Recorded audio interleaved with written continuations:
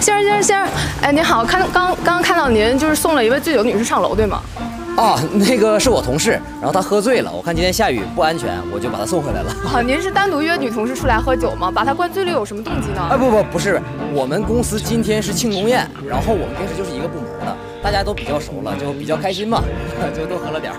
原来是这样，但我有个疑问啊，那庆功宴上这么多同事，为什么偏偏您送她回来呢？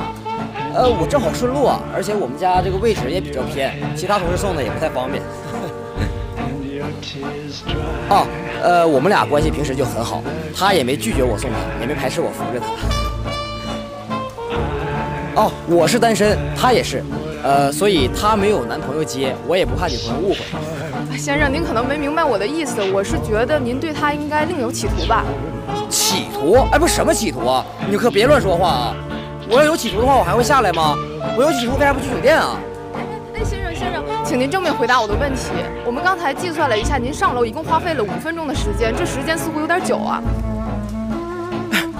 我给你算啊，我送他上楼半分钟，扶进家门一分钟，我扶把他扶到沙发，给他倒了杯水，然后我看他稍微清醒点了，我就下楼走了，算两分钟，再下来半分钟，你算吗？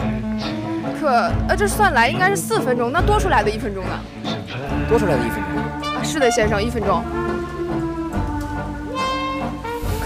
我就知道会有你们这种人。哎，我送他回来的时候全程录音录像，不信你看，来来，要不要跟我去问问当事人？走走，你不信我去看看，走。